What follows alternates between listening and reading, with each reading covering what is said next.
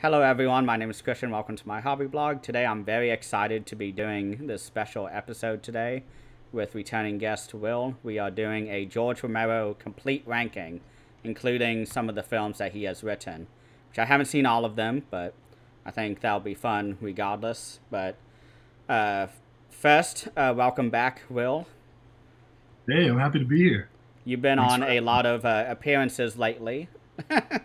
so for those who don't know, he's been involved in Disc Connected uh, live streams lately, and they have been absolutely fun to watch. I've learned a lot. It's just like I'm back in class again when I'm watching those announcements. But uh, what else have you been doing lately since you've been on? Yeah.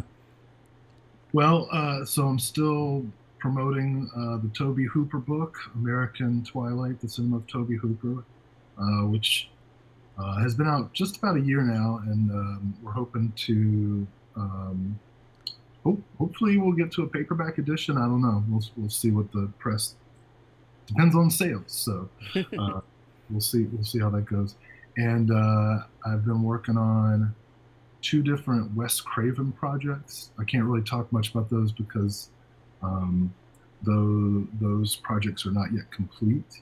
But uh, if things go well, there'll be a couple of um, titles uh, in the next year, um, collections of essays and whatnot on, on Craven.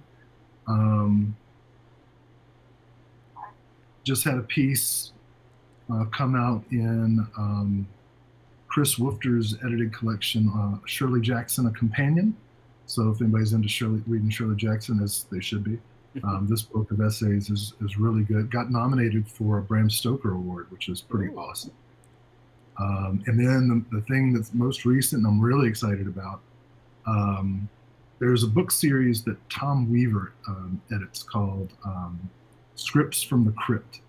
And vo- volume 12 just dropped Tod Browning's Revolt of the Dead uh, so this book includes the unproduced script, original script of Revolt of the Dead, which was a zombie-based movie that Tod Browning was going to do, and several essays on Freaks, Mark of the Vampire, uh, my essays on the Devil Doll, uh, which is a bonkers movie that everybody should see.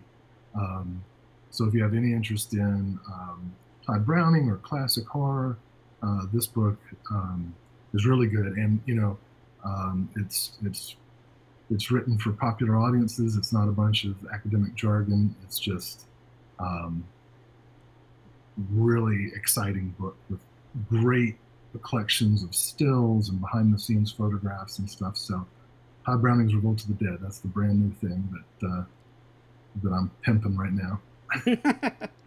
yeah, uh, that's a director I need to get more into because I've seen Freaks maybe 102 times since you showed it in class. And I haven't been able to find really any others, but I also haven't looked too hard because a lot of them are, I guess, lost or really hard to find on Blu-ray. So yeah, well, Kino has released several of his films on Blu-ray, uh, several of his silent films, hmm. uh, Drifting, White Tiger. Um, you can get The Wicked Darling. Um, and then Warner Archives has DVD uh, releases of several of his best silent movies, including The Unholy Three with Lon Chaney. That is special. Uh, and the and his, uh, you know, these movies are all during um, really the peak years of silent cinema. So uh, for people who are maybe less interested in watching silent movies because they tend to be slower paced and whatnot, this is when they were fast. This is right before uh, sound came. The Blackbird, uh, also with Lon Chaney, really good. Uh, and then some of his talkies are available, like The Devil Doll with uh, Lionel Barrymore, um, Fast Workers with um, John Gilbert, um, Miracles for Sale, which is a kind of black comedy.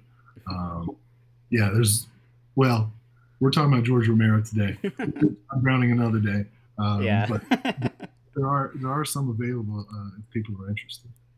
Yeah, um, I'll definitely keep my eye out for that because I'm really enjoying the uh, American Twilight right now. I've kind of been using that book as sort of like a, I guess, guidebook for everything Tobe Hooper, and I've gone through a lot of his early stuff so far. I'm waiting for TCM two from Vinegar Syndrome because I haven't seen it yet. So that's one yeah. I think I really need to see. But wait, did you just say you've never seen it? Nope. oh, man. I've been well, meaning to. I just haven't been able to. well, you know, in American Twilight, that's one of the movies I write about. So uh, uh, that's great. Actually, I'm going to be on uh, a podcast, the Cult Film Companion podcast, and, hmm. and uh, several weeks. Uh, maybe it might not be till October. I don't know yet, but um, we'll be talking about. It'll be a deep dive into Texas Chainsaw 2. So uh, I'll let you know when that's happening. Awesome. Well, I'm really excited for today because again, we are doing a George Romero ranking, which yeah. it was just um, a few months ago that I finally saw the final movie that I hadn't seen by him, which was The Dark Half. Uh, mm. That was just one I never saw, and I'm very excited to show where that is on my ranking. But I guess let's first discuss what we love and appreciate most about George Romero. I'll let you go first as the guest.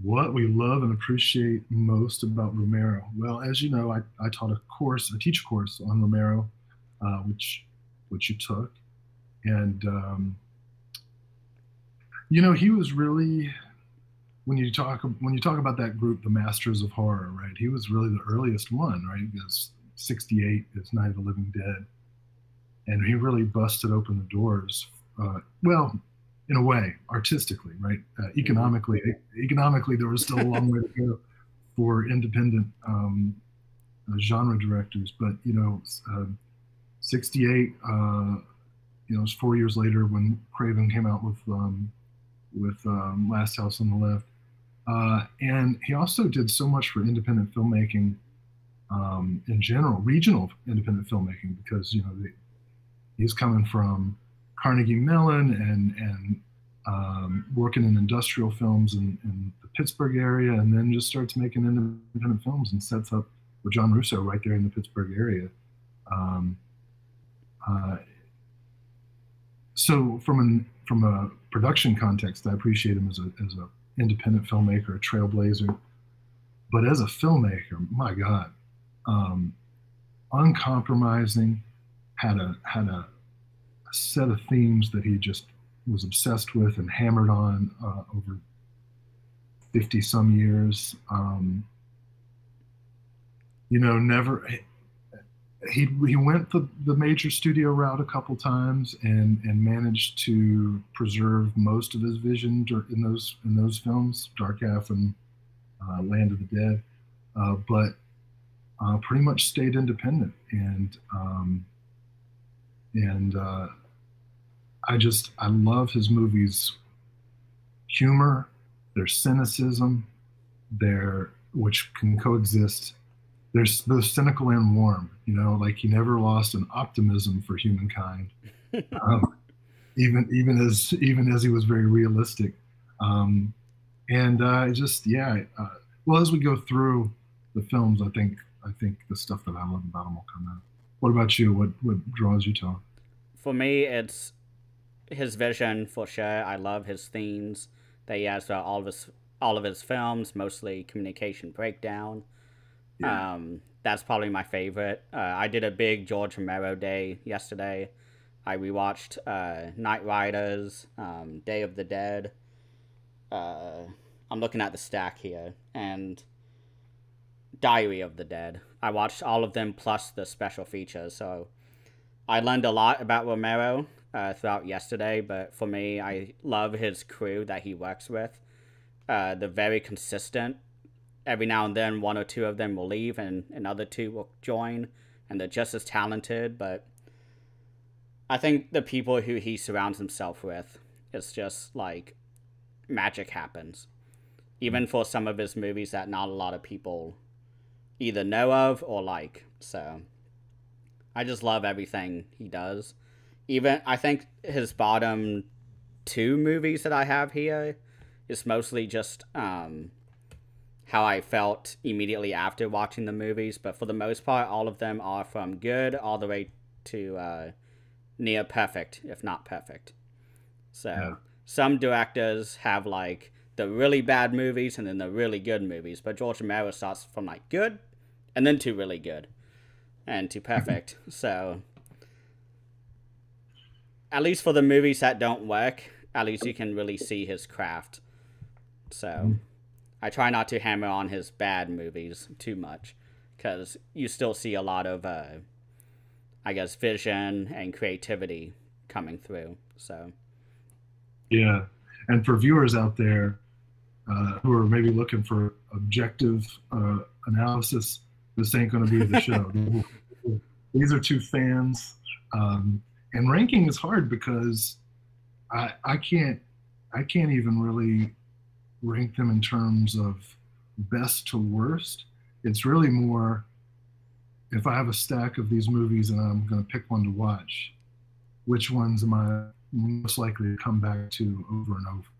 Which, which I guess in a way is a, is a is an assessment of quality, but it's it's also very subjective, um, uh, and uh, because we've you know immersed ourselves into his entire filmography, you can't watch one without thinking about the others. You know, um, yeah. which which to me is the mark of a real artist. You know, there are a lot of I mean most directors, and this is not a knock on them, but most directors, if you didn't know from the credits who directed it, you wouldn't be able to tell, right? Because because most directors are just craftspeople who are who are um, doing the getting the getting the shot, moving on, putting the movie together, trying to be entertaining, and that's great.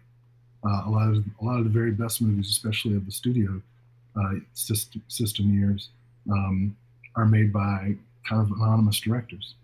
But someone like Romero, just like you know Orson Welles or Jess Franco or or uh, you know Agnes Varda, right? The personality comes through, and uh, and that's really special. Yeah, for sure. Because I was thinking about that while watching Knightriders, and I was just thinking about how the editing is very George Romero like, which I love his editing too. You can tell just from the way he shoots his movies and how he cuts a scene that is George Romero. Yeah, and that's, Romero Romero's editing is Romero like. Yep. but uh, I guess we can jump into the pre ranking of what we think okay. about his films that he has written. And those yes. include Creepshow 2, Night of the Living Dead 1990, and Tales from the Dark Side, correct? Are there any mm-hmm. more? Well, and uh, so Tales from the Dark Side, the movie, and then he wrote uh, four episodes of Tales from the Dark Side, the series. Okay. I knew I was missing one. but I've only seen Creepshow 2, so I'm going to let you kind of take the helm on this.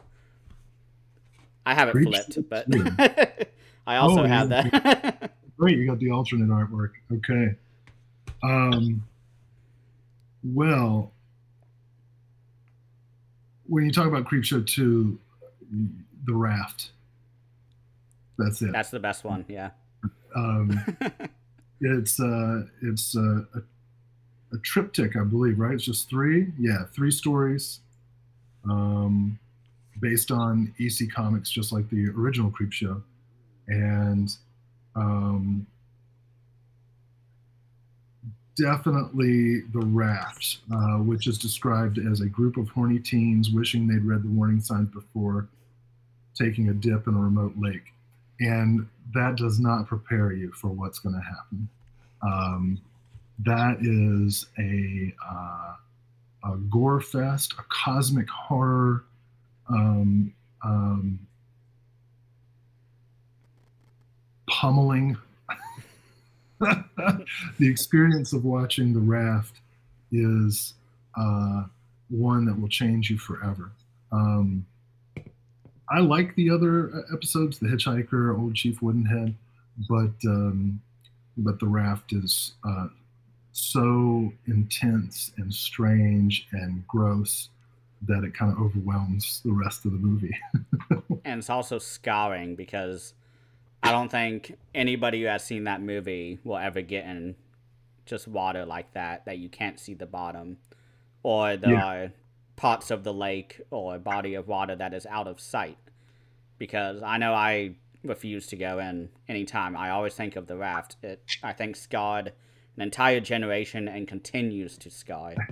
but I do love uh, old Chief Woodenhead. I think that's a perfect intro sequence. It's not like the best like the raft, but has a great lead up into that. And plus you get um, George Kennedy, which is always mm-hmm. fun. So yeah, and it, it, makes a nice little social statement as well. Um, which is which is cool. Now Michael Gornick, who direct who actually directed this, I'm pulling him up because I want to see what other credits he has, and I guess he must have worked with.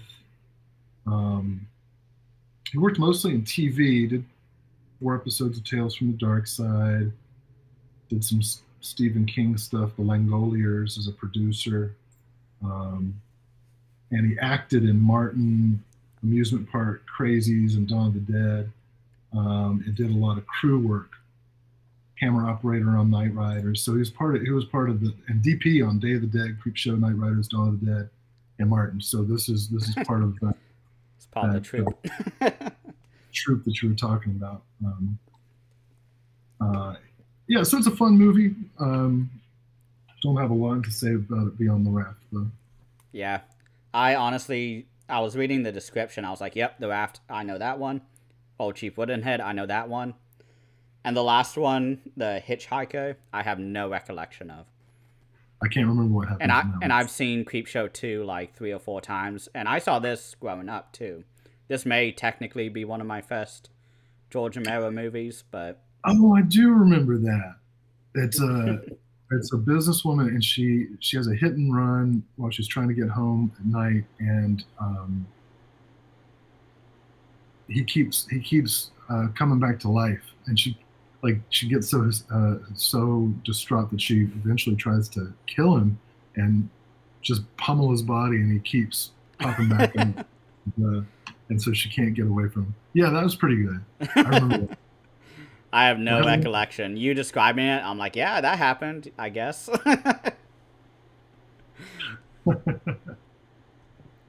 so, do you want to talk about the others real quick? Next, you got Tales from the Dark Side, the series, which ran for four seasons, uh, 1983 through 1986, and then Tales from the Dark Side, the movie, uh, 1990, um, which. Uh, included um, uh, screenplays for one of in the movie uh, romero wrote one of the the four inter, interwoven stories and he wrote um, four episodes um, of the series. Now i gotta be honest tales from the dark side is not a great series. Um, i was wondering it, ran on i think it ran on cbs and it, it you know, you're, you're going to compare it to Tales from the Crypt, right? Well, Tales from the Crypt ran on HBO. So there's a difference in the kind of content that you can show. And some episodes pull off the suspense and the spookiness and everything, but um, it kind of it does pale in comparison to Tales from the Crypt. And you know they're both inspired by EC Comics, um, though Tales from the Crypt or Tales from the Dark Side um, um kind of veers into um, less campy territory and goes for more gothic, but you know, low budgets and and um, uh, and uh, just uneven episodes. You know, um, which is always true of anthology series when you got a bunch of different directors, a bunch of different writers. But uh, um, some episodes are really good. Um, I particularly like the circus, which he wrote in the 1986 season. Um, yeah, you know, so it's worth, especially for Romero completists, it's definitely worth uh, picking up and watching. You know, the 25 minute episodes. Um, you can you can. Um, I'm sure you can stream them somewhere, but you can get the physical copy for pretty the complete series pretty cheaply now. DVD only. We don't have a Blu-ray release. Um, Tales from the Dark Side, the movie, is quite good. Um, has a great uh, framing story that, featuring Deborah Harry from Blondie hmm. uh, and Videodrome. Um, and um, has a great cast: Christian Slater, William Hickey, James Remar, Rae Dawn Chong's in it. Um, it's pretty fun. So uh, I, I, I would highly recommend that. Scream Factory puts out a Blu-ray of it. Um, if anybody hasn't seen it, wants to, that's solid. I've seen that release a lot, and I never realized that he wrote one of the parts in it. So now I need to go get that. so. And then I guess the last of this series, right? You've got some opinions on the 1990 Night I, of the Living Dead. I've never seen it. Oh, you haven't? Okay, so no. this is this is written and produced by Romero and directed by Tom Savini. I knew, I forgot that, but. And it stars uh, Patricia Tallman from uh, Knightriders, uh, as well as Tony Todd, the Candyman himself. Awesome. he takes he takes the Duane Jones role. And in interviews, um, quite rightly, I think Romero uh, expressed regret over um, how he handled the, the Judith O'Dea character in the original 1968 uh, Night of the Living Dead, where she, her character basically became catatonic. Now, um, a lot of people have kind of debated her character over the years. Some have criticized um, Romero for uh, having kind of an um, uh, anti-feminist um, um, streak in in how she was portrayed, and the other women characters being more passive. Um, Others have said, well, of course she's catatonic. She's she's the only one who's behaving rationally and and just completely shutting down because the apocalypse is happening. Um, uh, and she's she she just kind of lets it wash over her in the end. Um, nevertheless, uh, she wasn't um, an active character once she gets to the, the house. And um, uh, Romero said he did this kind of to make up for that mistake. And so Patricia Tallman's character is much more active, um, kicks some ass. Uh, and in fact, Tony Todd's character at times um, uh, kind of loses the thread and, and she has to, to keep him on task. Um, the action and gore in this, obviously, as a Savini production, a lot more gruesome and, and um, it doesn't have the same uh, bite as the as as the original because it doesn't. I mean, I, I, don't think any remake can ever recreate that the the, the feeling of, of um, such an iconic picture that, that that lands at the moment in time that it does. But it's a solid remake. It's it's uh, it's a lot of fun to watch as a huge fan of the original too. To kind of track the changes and think about it in the context of, of you know 1989 1990 this this different time in, in um, american history. Uh, and you know patricia tallman's great. She deserved to get a role like that. Um, it's always great seeing tony todd. Um, there's other other great cast members too. You've got uh, oh what's his name from henry portrait of a serial killer. Oh the, the, the sidekick in that one. Shoot, let me look it up. How can I forget his name? Well, that's the magic of Google. Tom Towles, that's right. Tom Towles is in it, so he's he's, he's, a lot of fun too. Um, yeah, so I like Night of the Living Dead, the remake. Cool. That's my take. I will check it out one day. That's what I keep telling myself. One day I'll watch it. I remember in class I was like, I should watch that, and I still haven't. It's been five years now, five and a half, I think, because it was in the spring. But yeah, uh, thank you so much for covering that side because I'm unknowledgeable in that and his written stuff. So works really well.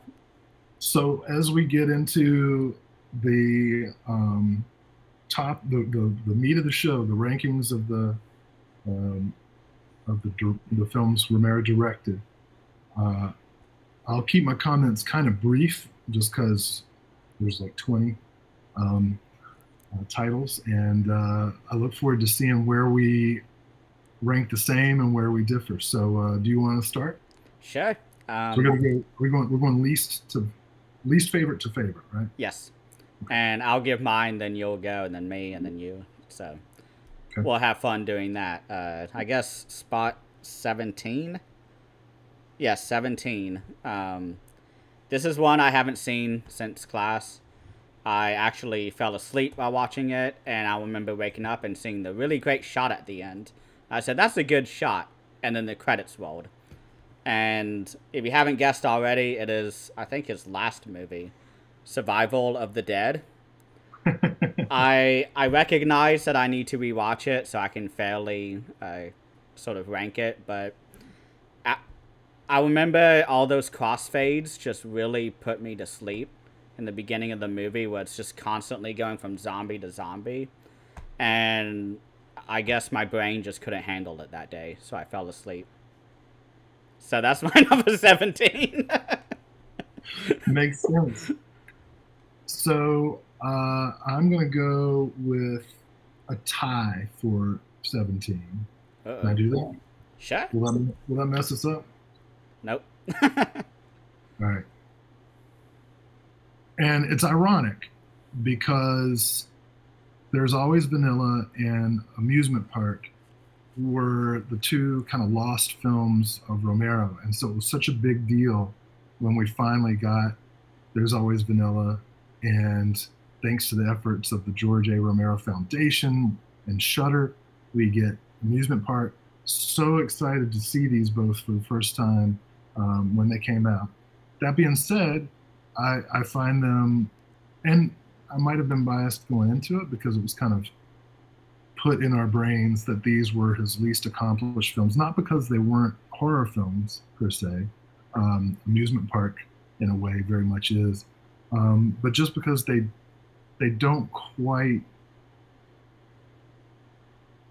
have the punch that that some of the other Romero stuff does. I enjoyed. Um, There's Always Vanilla the first time I saw it, um, and then after watching a second time, I was like, yeah, I probably. I, I think this will be be a while before I see a third time. Um, you know, kind of going through um, s- some some satirical um, bits about um, uh, 70s America, which certainly it's ripe for. Um, made some interesting um, and sometimes less interesting formal stylistic um, experimental moves um, that were cool in some places but a little too much in others i think he did it better in other movies amusement park which was an industrial film commissioned by what church commissioned him Um, I wasn't I remember seeing uh, the Lutheran church. Lutherans. Okay. Um, and uh, it was really cool, but it's also not a narrative film so much as a as a as a public service announcement um, about Yeah. about lon- about loneliness and aging. So it's I I, I loved it um, when I saw it, and I found it so exciting. But it's also not something that I, I am going to return to. Um, um, partly because I'm getting old and I don't, I don't like it. Um, I mean, I got, a Facing ways to, demons. I mean, I got a ways to go before I get to where that guy is, but uh, I'm I'm closer to him than I am to my students. So so that's those are my those are my bottom.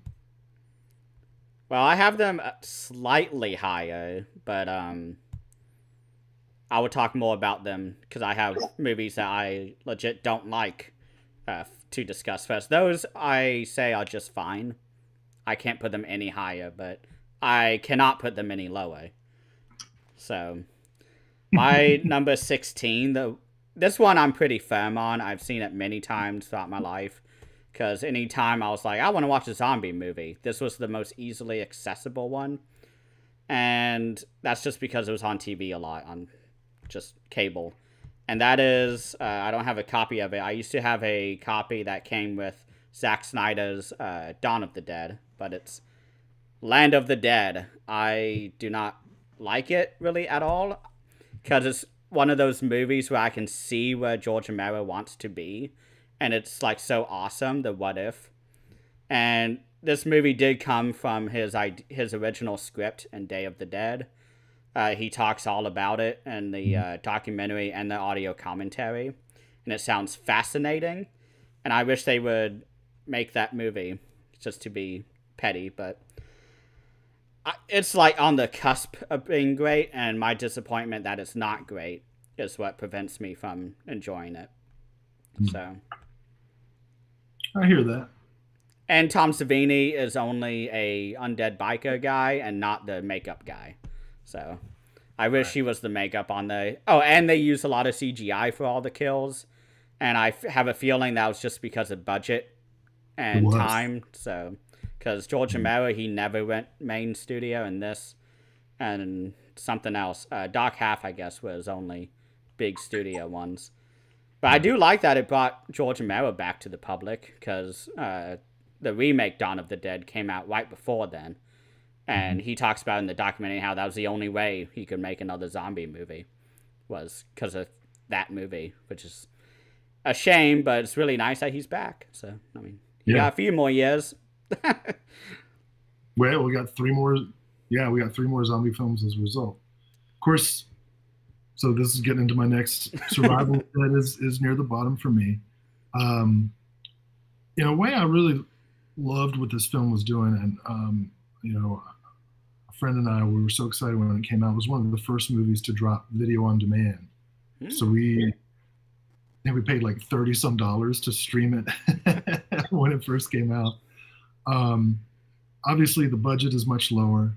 Um, he, he, he, he said that this is kind of a, and it is a loose remake of the William Wyler, Gregory Peck Western, The Big Country. And the problem is he doesn't have the budget to do the big country. he's, he's, doing the small island. but it is an interesting kind of coda to, you know, this is his final film. And uh, no spoilers, but the ending is um, an appropriate one, given his long time obsession with communication and cooperation uh, among human beings. Um, it is it's kind of a western, and it's odd because it is a um, tangential sequel to Diary of the Dead, which was um, shot kind of like a found footage movie, whereas this is a traditional um, shot reverse shot uh, movie. Uh, but an, uh, side characters of Diary of the Dead, it's their story. Um, the, uh, the the the soldiers who robbed the main characters in uh, Diary of the Dead are. Oh yeah. I totally forgot that. Yeah, that's, that's kind of neat, right? You know, you you follow uh, each character's story. It could have been it could have been Romero's Slacker. You know, just keep following different characters, but. Yeah, so it's it's it's near the bottom. I, I don't revisit it very very often. Um, I do like it, but it's certainly not my my favorite by any means. I've always wondered, does it come with a commentary track? Did he ever do one? So I would love to hear his thoughts on it. I don't want to yeah. watch the movie on its own again, but like, if I if I could hear him talking about it, I'd, I'd watch it again. Well, you're in luck. you're in luck. There is a commentary track. Perfect. So I'll keep that on the list. I guess it's my turn. Yeah. Uh, I guess I rearranged my ranking on the bottom. But um, no, I'll, I'll go back back with my original ranking. The next one's uh, there's always vanilla. Mm-hmm. I appreciate it. I think it's interesting, but actually watching the movie is not fun because the man and the woman just talking in a chair. And I highly recommend the uh, supplements on this release. This was actually one of my first videos. That and Season of the Witch, I think I reviewed together. Yeah. And I talked a whole lot more about the special features than I did the actual movie. It's okay. We're now at the point now where everything is just okay in this section of my ranking. It's not bad, but it's fine. I have to say, you are probably the only person in the history of Romero fandom to rank There's Always Vanilla higher than Land of the Dead. I don't like Land of the Dead. No, that's that's. I, I I see the movie that could have been, and I just get angry and disappointed.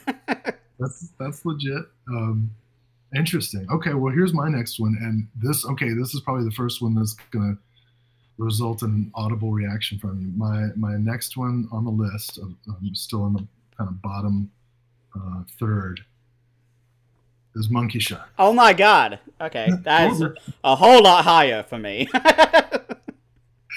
you know, and I was surprised uh, too that it, that it was this low. Uh, but then when I looked through the stack, I was like, no, well, I can't put it any higher because if I'm gonna if I'm gonna choose between two movies to watch, every every other movie on uh, on this stack will come before Monkey Shines. It's I long. like Monkey Shines. Huh? It's quite a long movie. I don't like the pacing of it. It it, it does have a slow pacing. Um, it is a, a really cool concept. I want to read the novel it's based on, uh, which which has been on my to do list for a while. I love the idea of um, of uh, the, the the restraining impulses of civilization um, beginning to come loose as a result of this psychic bond with with uh, with an animal. Um, and uh, one of the great final battle death scenes of any uh, movie ever. Um, I, I, I, do find this to be a much more entertaining um, uh, movie than it would seem to be from hearing the concept. Like I, I can't believe it got made because every every time I think of the pitch, I'm like, what? How could you raise money on this uh, idea? The novel was was uh, I think a fairly popular one, but um, as, as, a as a film, how do you uh, how do you raise money and explain how this is going to work visually? And it does work. Um, it's it's just not it's just not my favorite. I will accept that. no, but I think its pacing is the main reason why it's nowhere near the top for me. It's like right, I think, smack dab in the middle for me. But uh, I mean, I have a lot of fun watching it. Yeah. I mean, I'm trying to I'm trying to do this spoiler free, um, which might be a mistake, but I figure I figure listeners might not have seen all of these, and I don't want to ruin any movies that they haven't seen. Uh, you you should watch every single one of these movies we're talking about. Yeah, uh, dear dear viewers. so is it your turn next or my turn? No, I guess it's my turn. You just showed Monkey. So this next one is only because I rewatched it last night with the commentary on, and it did not move at all because I had this ranking done for the most part, but forgot about Land of the Dead. Uh, actually, until I sat down to turn the video on, but uh, this is what we've sort of talked about already, but it's Diary of the Dead. I oh. enjoy it as a concept of him kind of rediscovering the origin point of when the apocalypse started, but the characters all suck for the most part. Uh, I like that one sequence when they go to the farm, but that's about it. Um, everything else is just kind of like a hot monitor where it's like nothing, nothing, but uh, I don't know. I think the acting, if done better, would have improved the movie. There's some cool uh, practical stuff in it, though. Can't say mm-hmm. that about Land of the Dead. That's why it's high.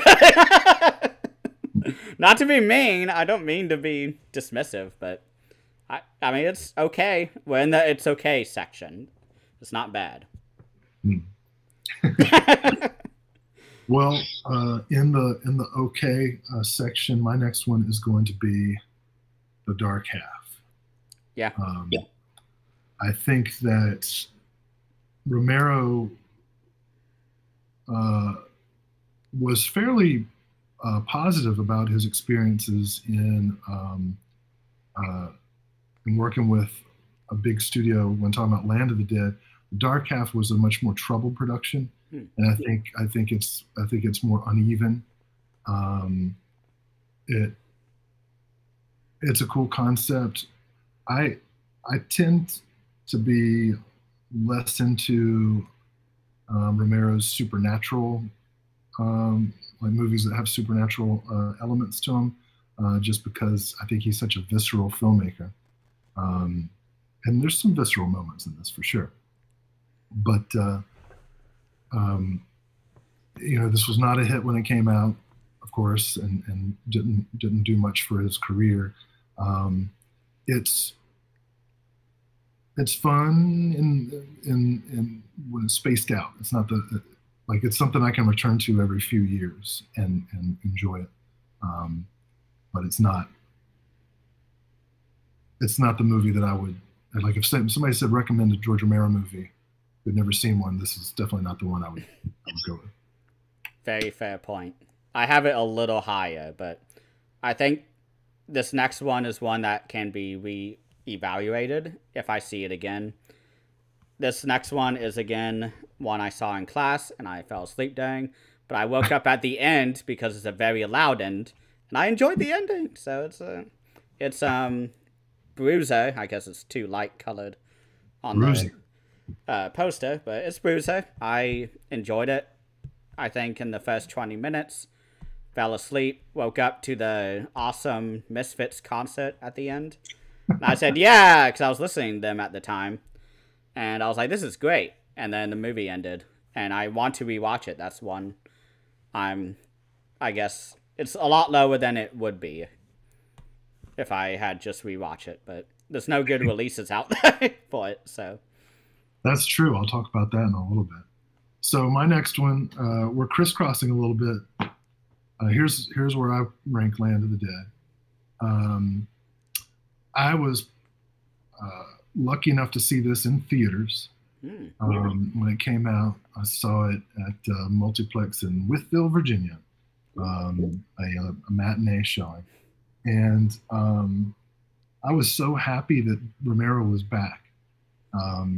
That uh, and, and I think this was the first. Yeah, this was the first movie of Romero that I got to see in a theater. Hmm. Um, because uh, during my teenage years, um, nothing got released in the theater except I think the Dark Half. But I was I didn't even start. I hadn't started watching movies at that time. I think I was like 13 or 14 when Dark Half came out. But I think my big problem with Land of the Dead is that it its message is too simple. You know, in dawn and day and night, the, the satire and the apocalyptic themes are nuanced and complicated and contradictory. But this one is straight up um, the George W. Bush administration, the war on terror, um, the the the, the um, false pretenses of the war in Iraq, the, the, the racism of the class system, um, racism and classism, obviously, of the class system, uh, is represented by um, the soldiers and by, um, oh, what is the character's name?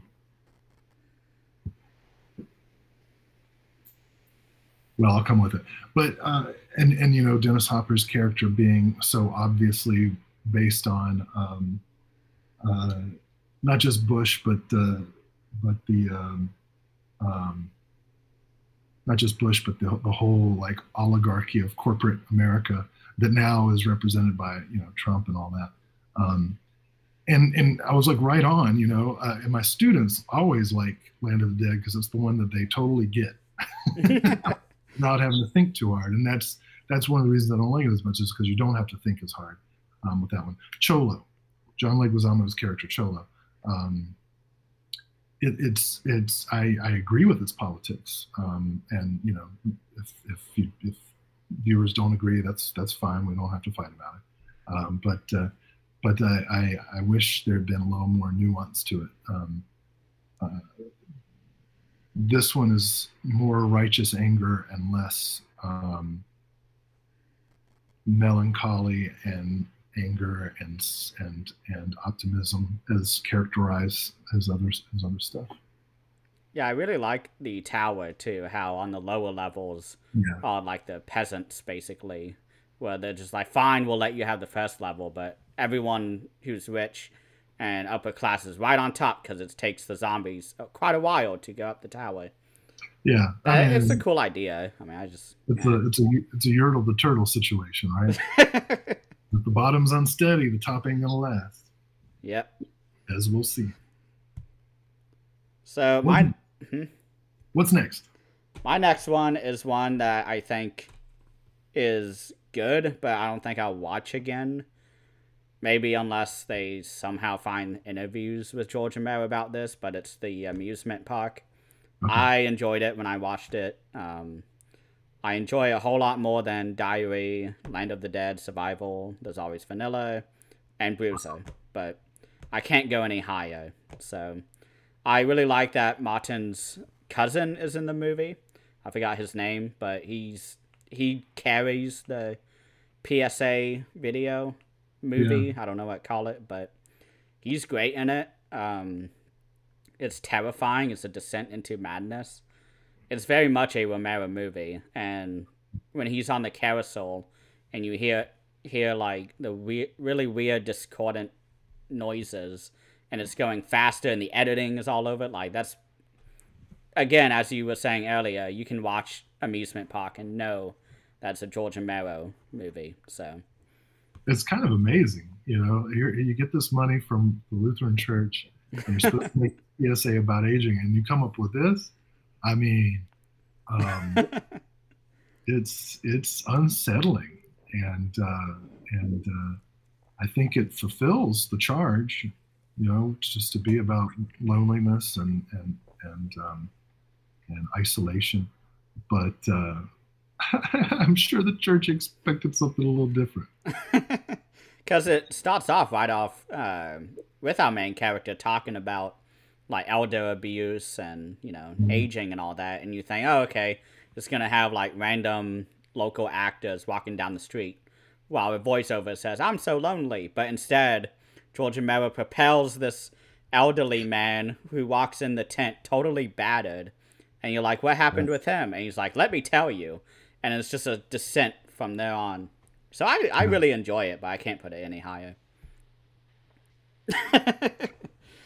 Well, speaking of stories that feature elderly characters, my next one is Creepshow. That low. Which is probably, yeah, I, I, realize this is probably lower than you think it's going to be, but I, I, think it'll make sense as we continue.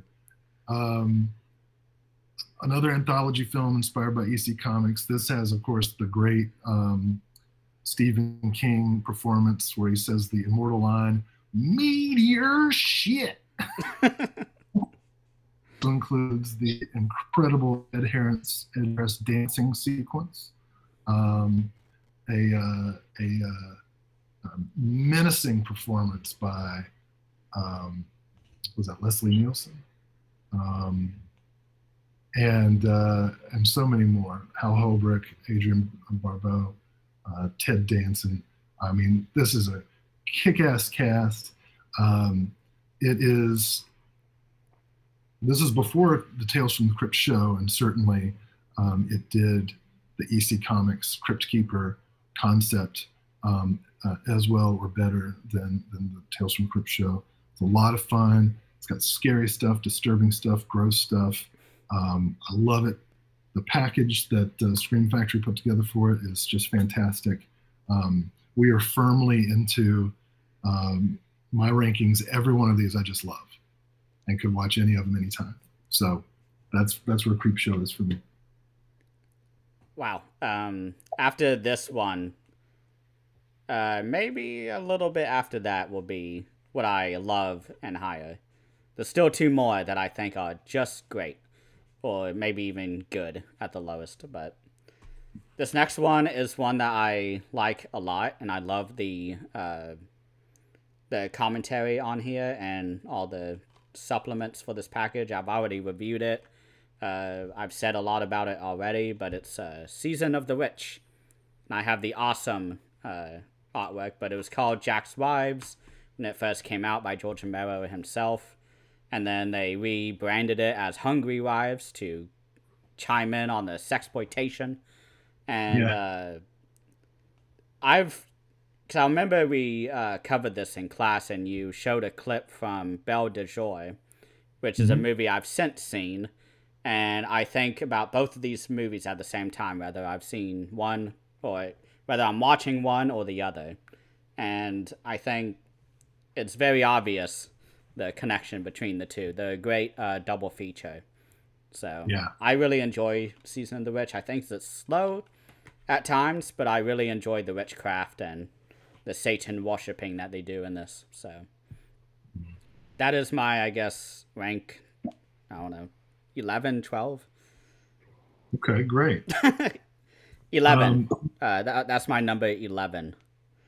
I'm going to need you to hold up the cover for my next one, uh, which is Two Evil Eyes. Uh, as I was, I was telling Christian before we started rolling, I ordered the 4K version of Two Evil Eyes from Grindhouse Video during their Blue Underground sale uh, about a month ago, and uh, but I pre-ordered it with some other stuff, so it hasn't come yet. Um, and I sold my Blu-ray copy. So Two Evil Eyes is my next one, and I, I kind of waffled on whether I like Two Evil Eyes more or Creepshow more. I think probably deep in my heart, I actually like Creepshow more. and it's and it's kind of cheating because I'm including the absolutely bonkers Dario Argento half of uh, Two Evil Eyes, the uh, the adaptation of the Black Cat with um, uh, with uh, Harvey Keitel, um, and I just I don't know. I found that film so unusual and so very dark, and um, I had seen it several times on late night TV, so I have kind of a nostalgia for it. I'm really looking forward to seeing the, the 4K, which I've heard is uh, really good looking. Uh, so, so that's where I am on Two Evil Eyes. Awesome. I have it a little higher, but it's right there. Um,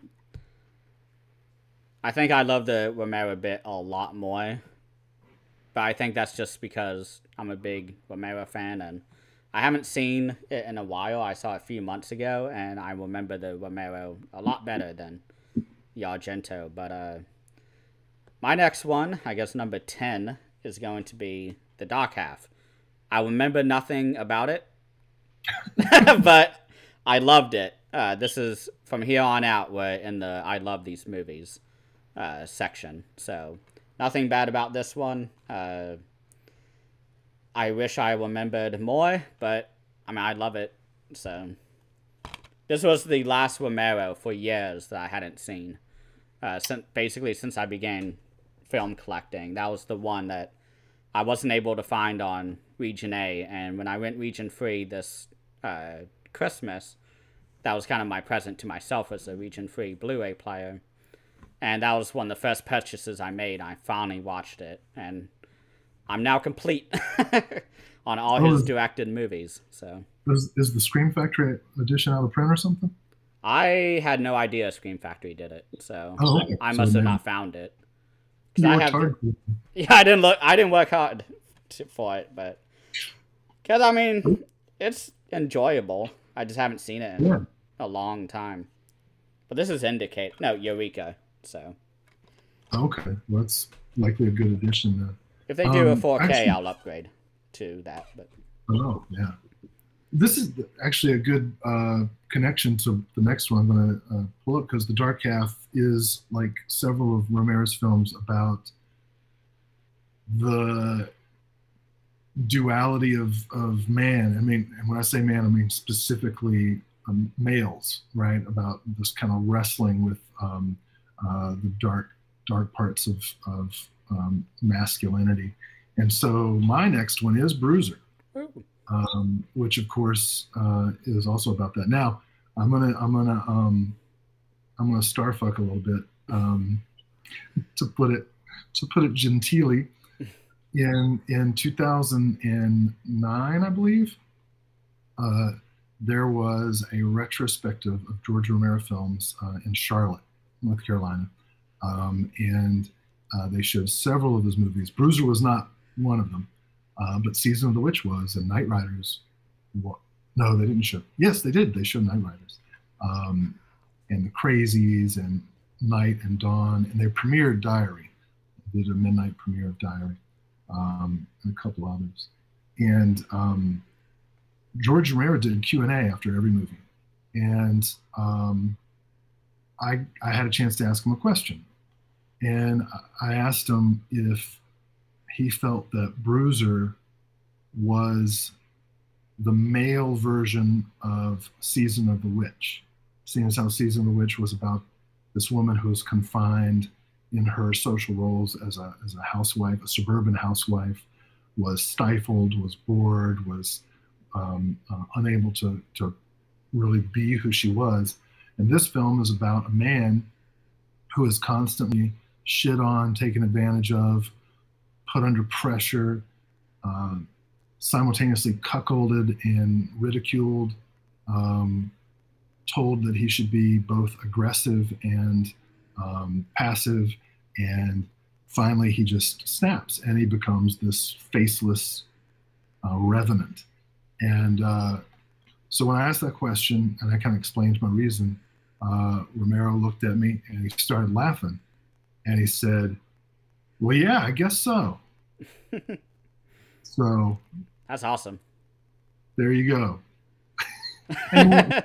he, he, went into it for for for a minute or so, but um, uh, yeah. So I, I guess I have a, a, personal connection to the movie now that that elevates it a little bit.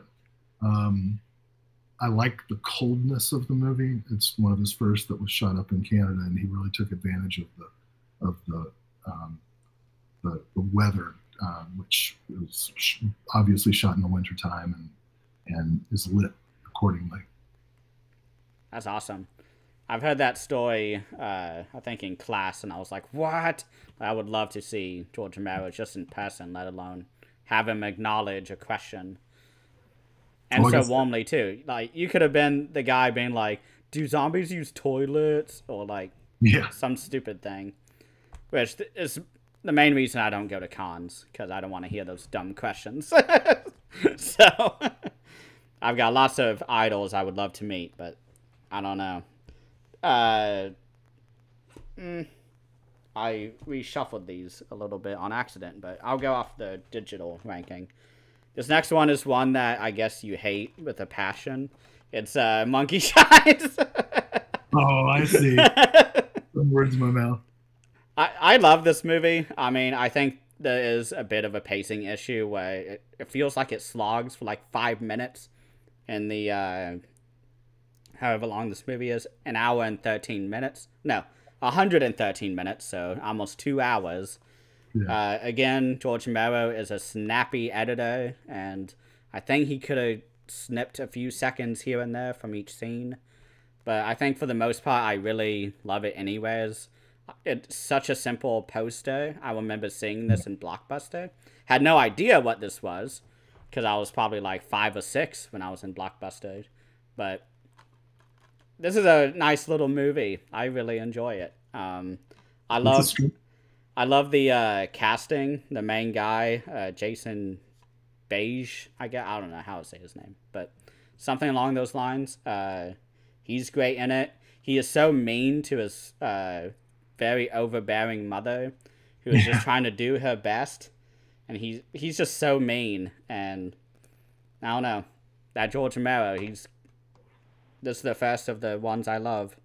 So I guess I do love Dark Half, but this this is family and the I love category.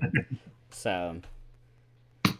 Well, here's my next one. Now, I, I also got to see this one in theater, and I went to the last showing uh, of the night. So it was like a 10, 10.30 p.m. showing. I was the only person in the theater to watch Diary of the Dead, which actually was a big hit for him.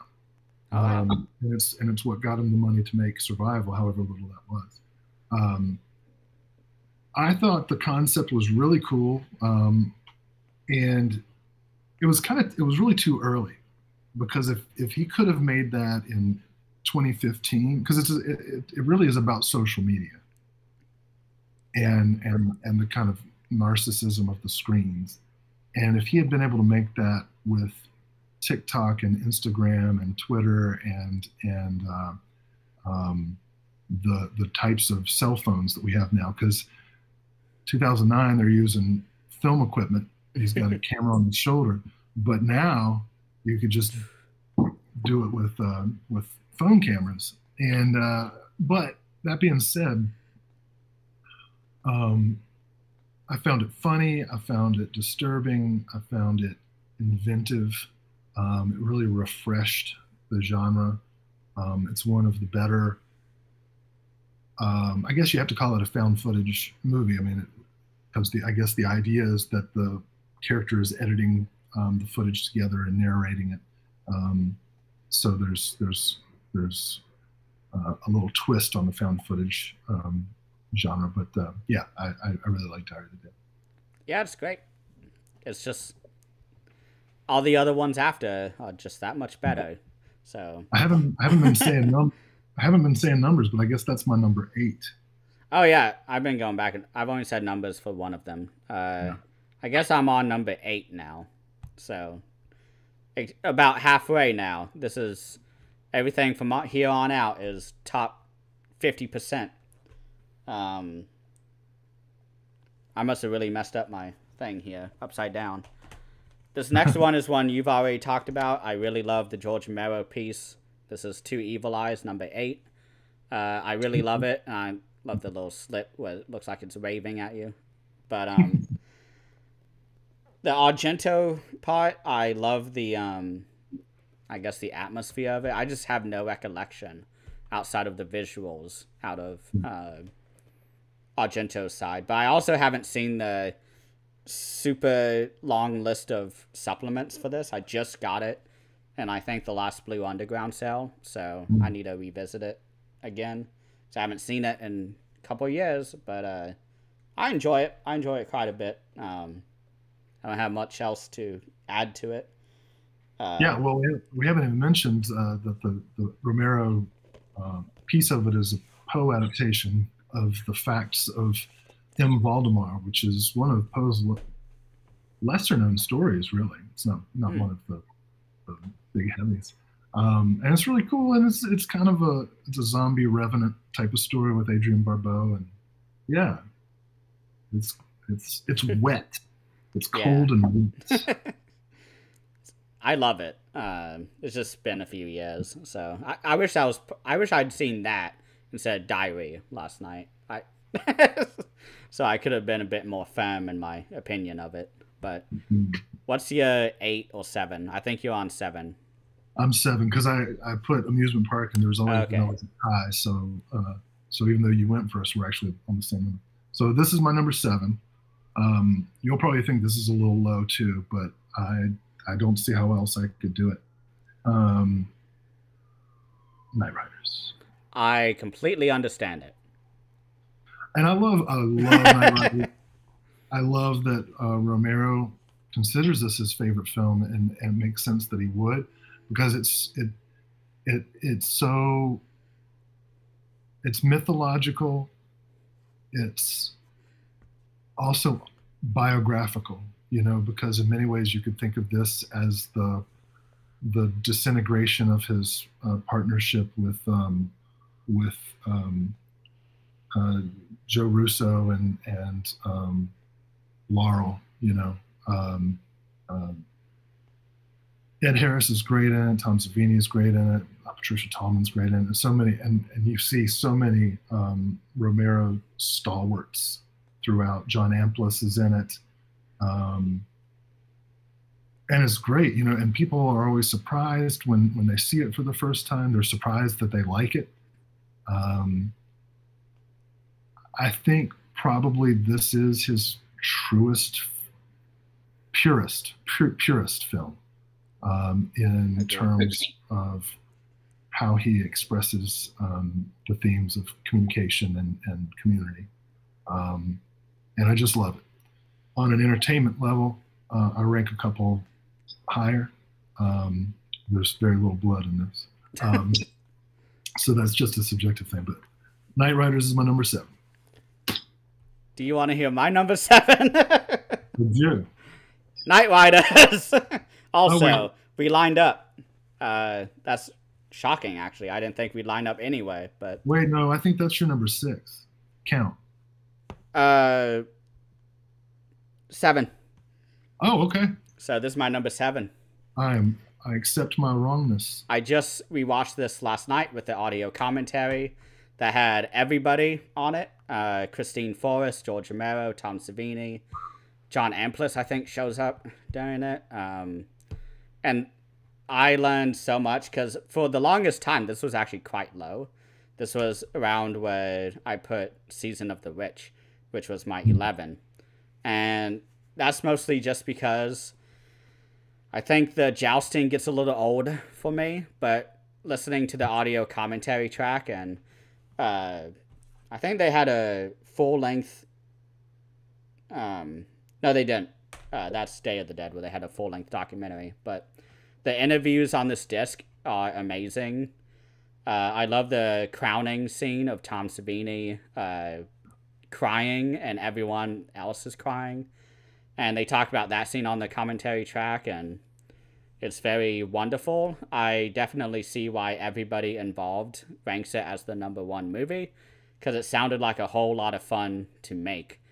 And this is the, I think, the first movie of the three picture deal that the producer, um, let's see, uh, Salah Hassanein uh, gave him because after, I think, Dawn of the Dead, uh, Salah uh, wanted him to make the sequel to Dawn of the Dead because it was so successful.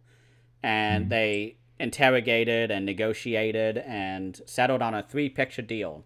And Romero said, I'm going to make the one movie that I really want to make first and have the sequel be the last movie. So I have that really high budget to do whatever I want. And Knightriders was the first one.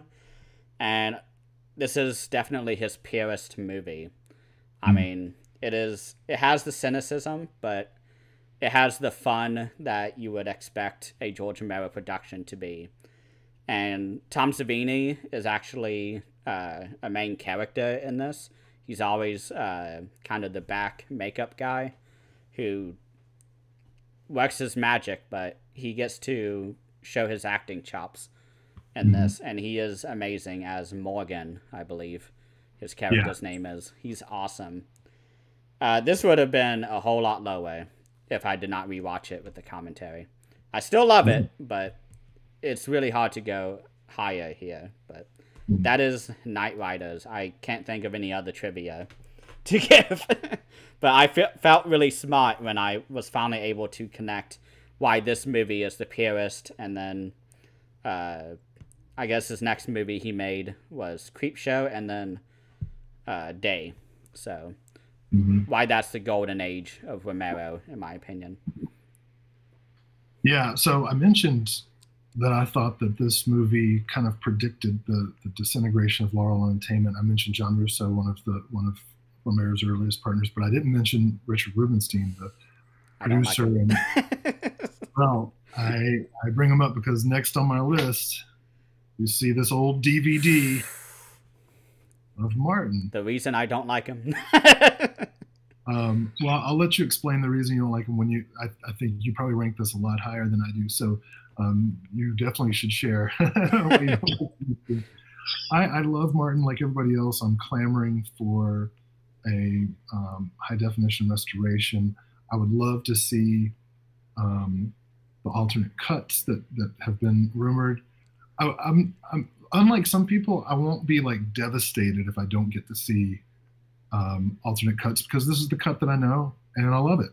Um, it's mm-hmm. really uh, a, a, great quintessential 1970s experimental independent film about industrial decay, the the disintegration of communities, the um, you know, and, and I, I saw this growing up, and certainly we see it to some degree in, in, the, in some of the MAGA communities, the way resentment and superstition and paranoia set in to communities that have been devastated economically and culturally um, through bad economic policies and, and environmental um, devastation and decay this is an all-time great vampire movie. John Amplas is is amazing in it. Um, love Martin. So that's my number six. Yeah, awesome. Six. It's not in my top three, but it's definitely in my top five.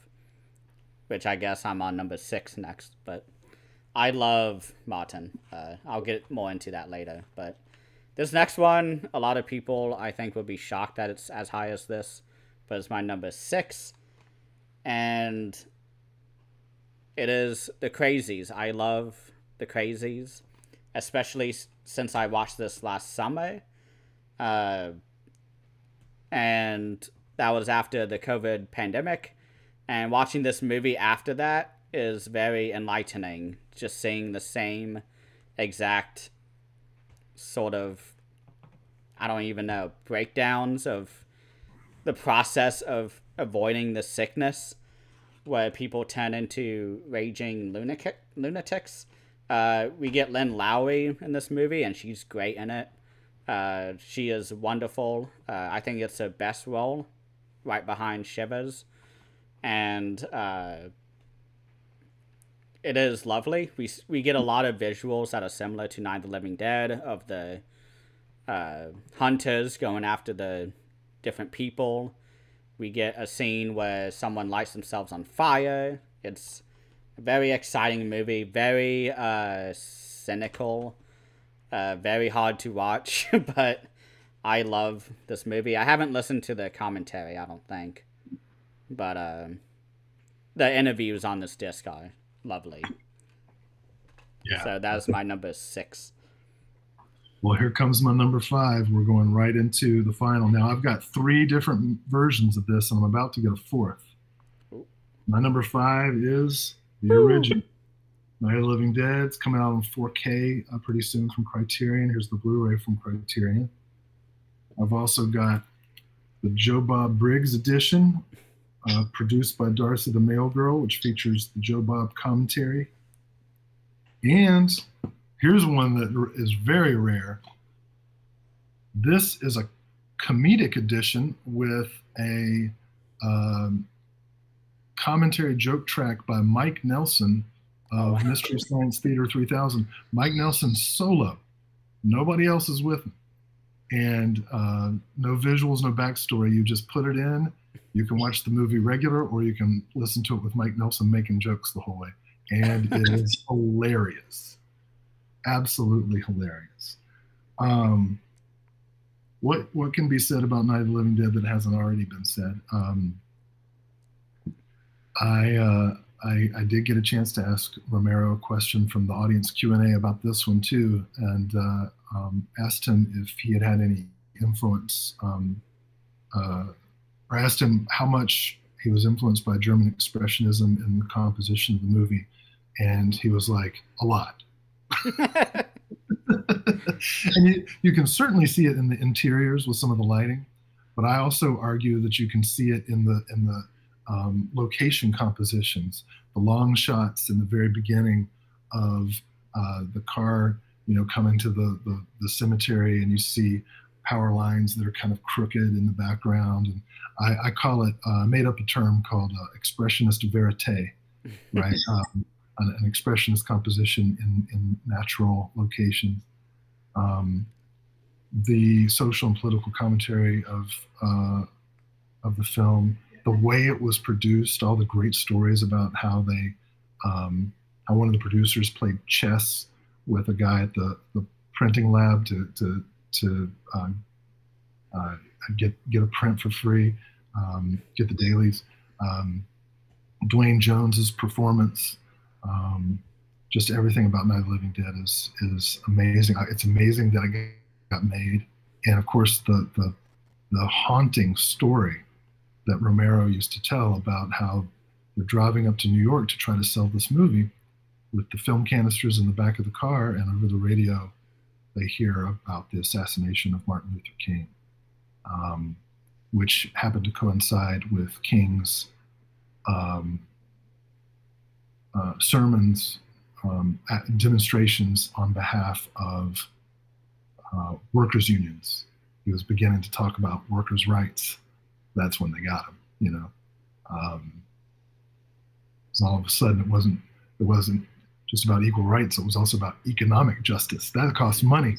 you know, um, so everything about Night of the Living Dead uh, resonates throughout the not just film history but American history, and uh, I love it. Fifth most. yeah. Um, after my next movie, everything's interchangeable to me. It's really hard to rank them, but my number five is going to be one you already talked about, and this is Creepshow. I really love it. Um, I haven't gone through the special features yet on this release, but uh, they have a new commentary with Michael Gornick, which is really cool, which I did not realize before recording this. I just looked down, there it is. Um, I would love to just rewatch this every other day. I grew up on this movie too, so there's definitely some nostalgia uh, kicking in here. I used to watch this on TV a lot growing up. Uh, I don't remember when, but I think it was the Stephen King story was, of course, the one I loved growing up because it was wacky and I knew Stephen King back then.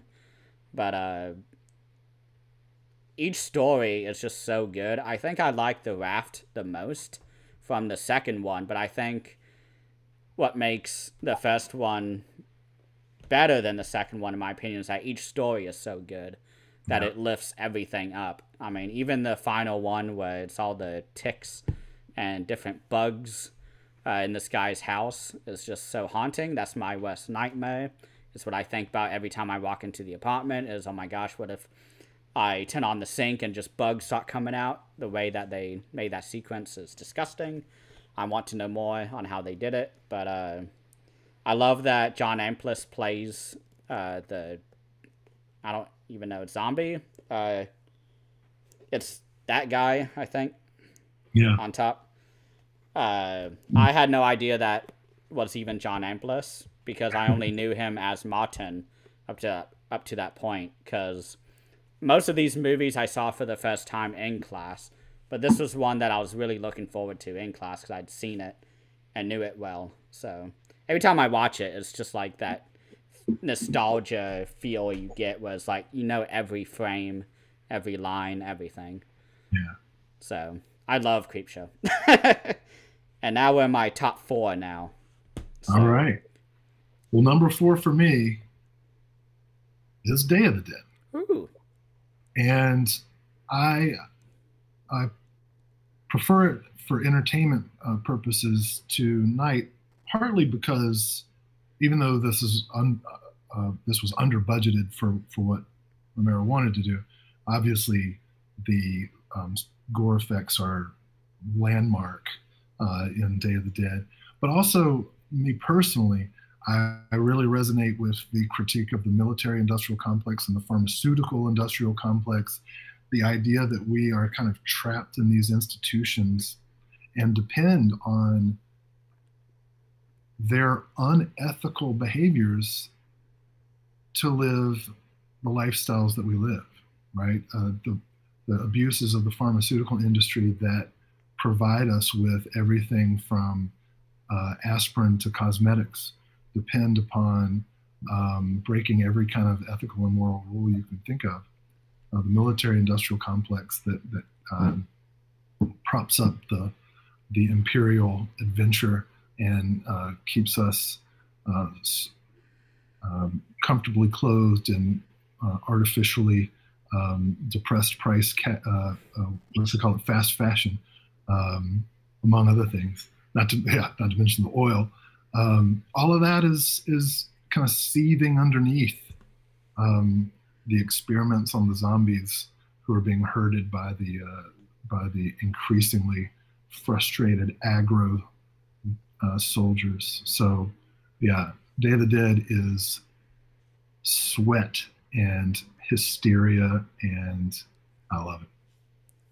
Yeah, I have a lot to say about it once once I get there, but my number four is one that uh, we've talked about, but it's a Martin. I don't own a copy, so I'm using the Letterboxd uh, little thing.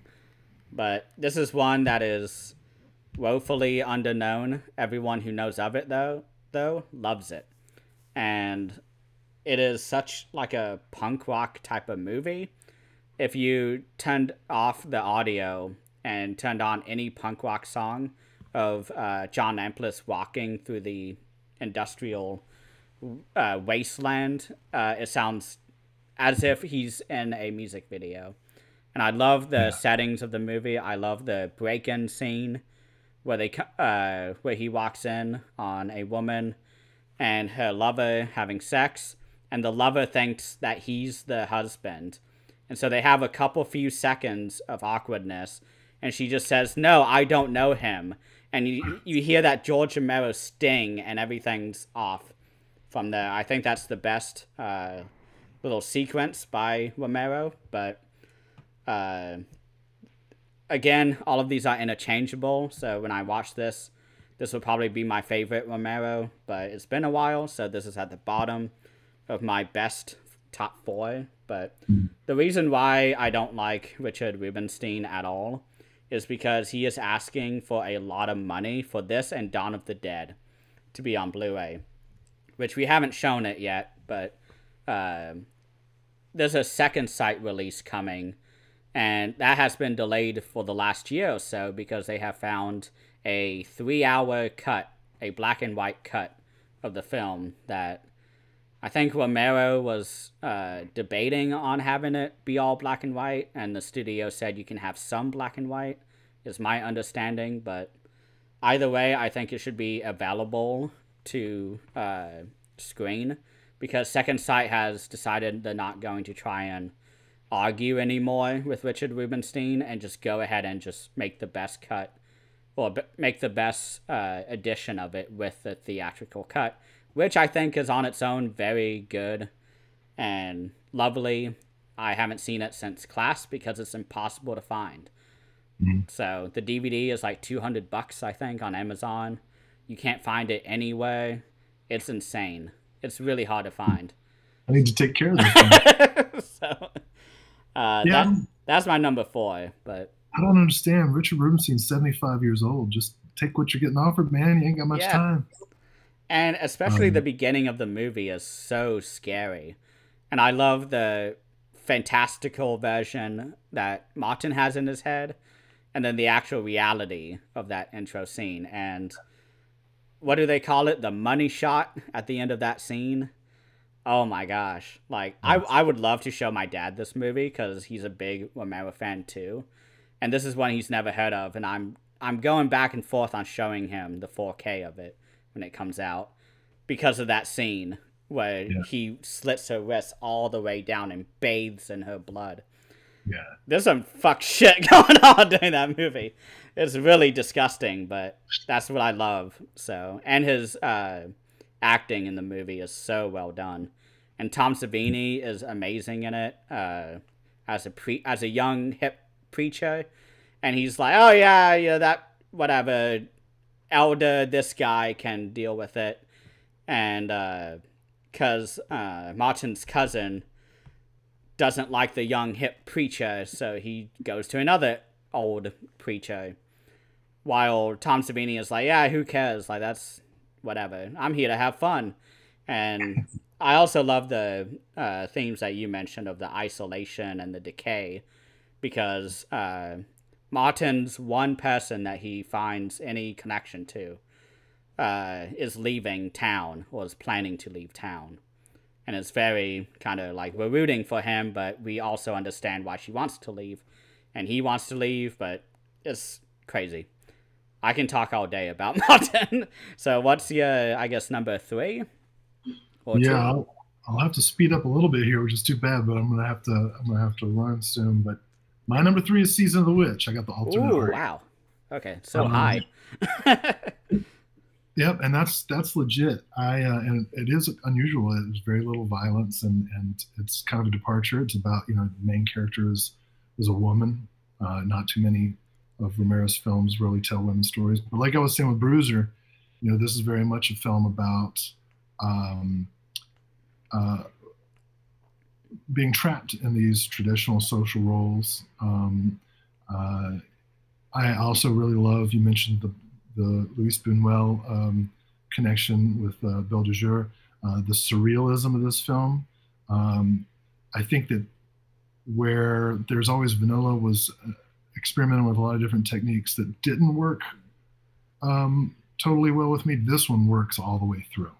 I just love this movie. I love the atmosphere of it. Um, uh, I did. I got to ask a question about this as well to to uh, Romero. I asked I asked if he was quoting Belle de Jour, and he said yes.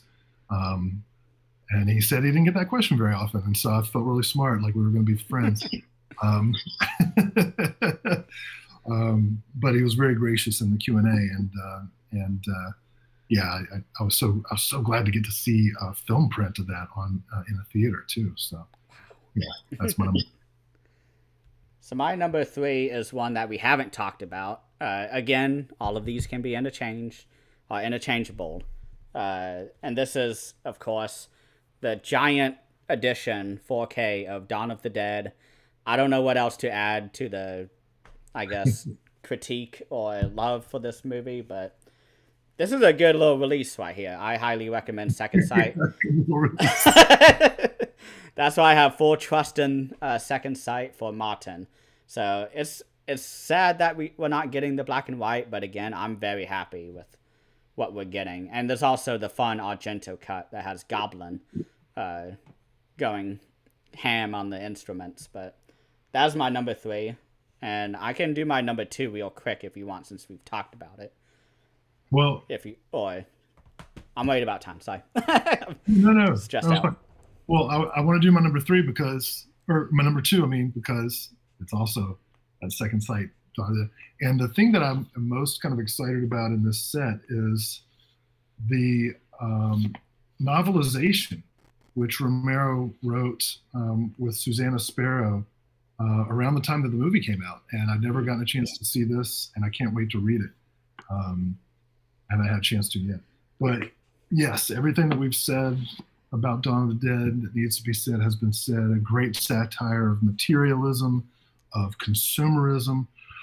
One thing that Romero said repeatedly was that television really screws with our heads because we see these opulent lifestyles and we begin to, on an unconscious level, expect these lifestyles for ourselves when in fact they're unsustainable. They're a lie. Um, the, the, the, the, economic elite uh, who, who've managed to gain power, usually through dishonest means, uh, live at this, um, live in these, you know, fiddler's greens um, that uh, and foment the the resentment and envy of the masses. And um, I, I, I, think that the shopping mall uh, sequence of Dawn of the Dead really uh, gets that beautifully. Um, love the movie, love everything about it. Uh, Ken Foree lives forever. Yeah. My heart. that's my number two. Woo. So my number two is, of course, Night of the Living Dead. I love it. I saw this actually in theaters. Uh, not when it was first released, because I was, my dad was barely even alive at the time. But uh, I saw it in downtown Durham, a cut like back when George Romero first died, and a week or two later they announced that they are having a free screening at um, it's right across the street from the Dang Performing Arts Center, but it's in a pretty nice uh, hmm. theater with giant chandeliers hanging right above you while you're watching the movie.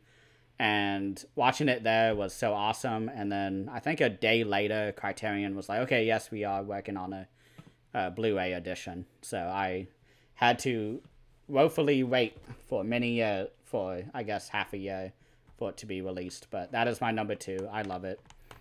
There's not much else to say. and now, after all that wait, you're getting a 4K uh, next month. oh well. all right. Well, that brings us to the number one rankings. My number one, if you haven't already noticed, is the Crazies. Woo.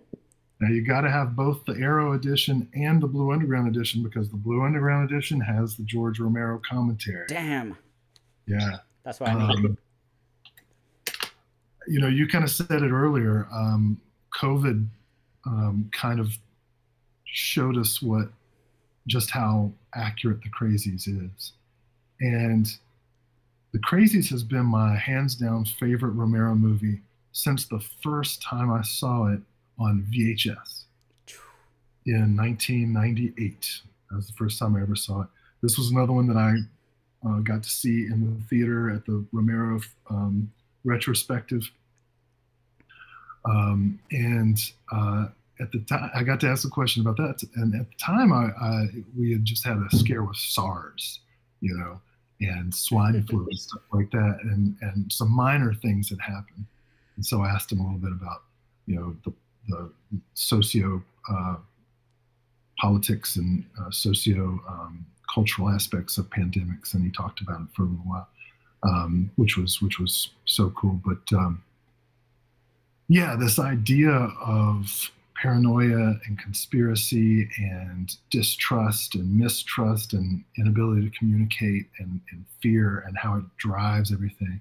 The irony of the ending, which I won't reveal for people who haven't seen it, um, but also the fact that this that the pandemic and the crazies was caused by um, unethical scientific and military behavior resulting in an accident uh, and a cover-up you know, and you and you saw a lot of the conspiracy theories around COVID, uh, some of which we still uh, haven't wrapped up.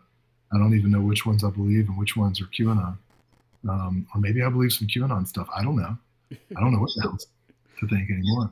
Uh, here we are. We're, we're, talking over Google Meets right now, um, and this is kind of a product of, of, the COVID pandemic, isn't it? I mean, we had these programs before, but but this kind of communication, um, just among friends and, and acquaintances was was certainly not widespread at this point. This was more for international corporations to to phone into meetings. So yeah, the crazies, it's freaking incredible. Love it. Okay, so now for my number one. It's only because I just saw it yesterday with the commentary and I watched the almost two hour documentary on it.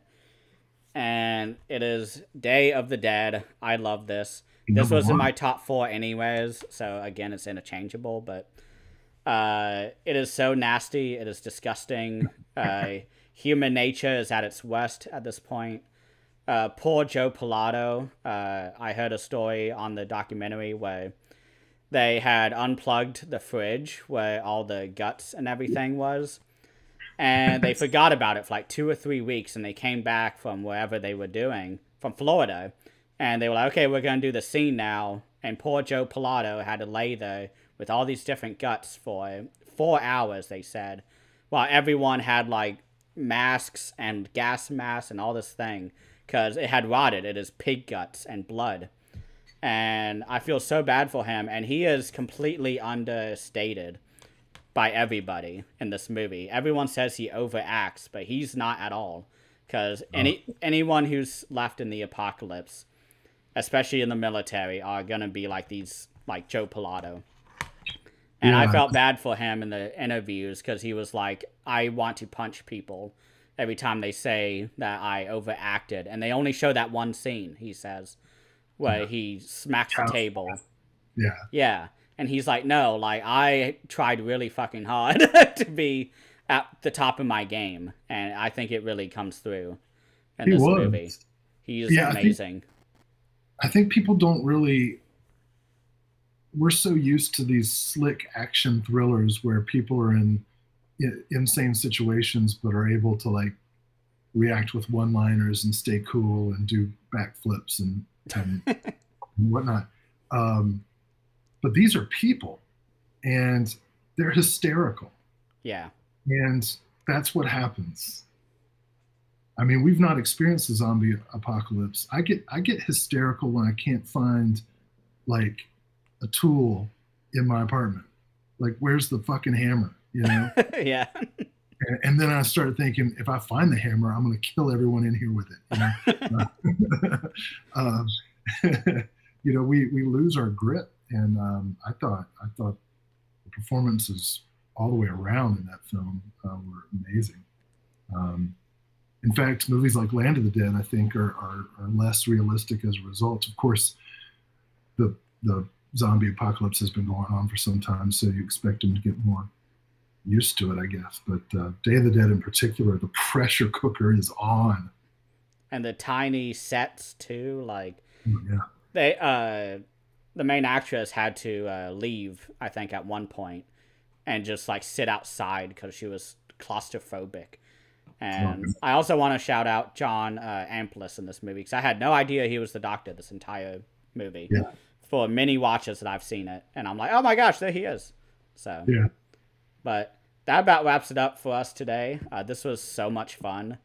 It was so nice to finally uh, go through all his films again. yeah. and to also talk with you again. This was a lot of fun. Oh yeah, it's been a while. I'm so glad we could schedule it. And listen, I want to I want to plug um, for anybody out there. Google the George A. Romero Foundation, um, which uh, holds Romero's archives.